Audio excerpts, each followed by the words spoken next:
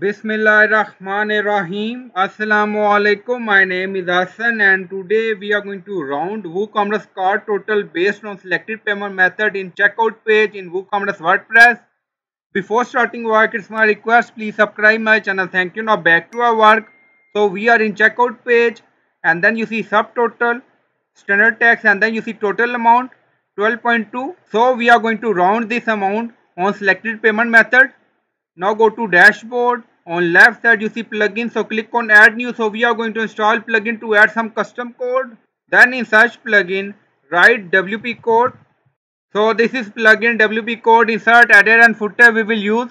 So you will install this plugin and activate it and after activation on left side you see code snipper then you see add snipper so click on it. Then you see add your custom code so again click on it now create custom snipper section open scroll down you can add title a then you see code preview on right side you see code type drop down select php snipper now we are going to paste code and you will find this code in video description or in comment section.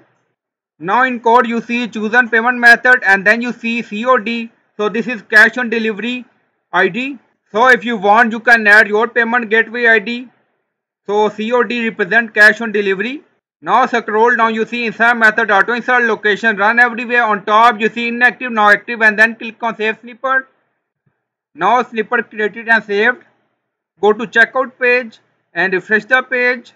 Now click on review and payment tab. Now scroll down you see total amount 12 round amount and then you see cash on delivery. If you select direct bank transfer now you see total amount 12.24 and when you select cash on delivery then amount round 12.0 just add this code and in code you can add your payment gateway id like cod so i hope you like this video. Please like comment share subscribe. Thank you for watching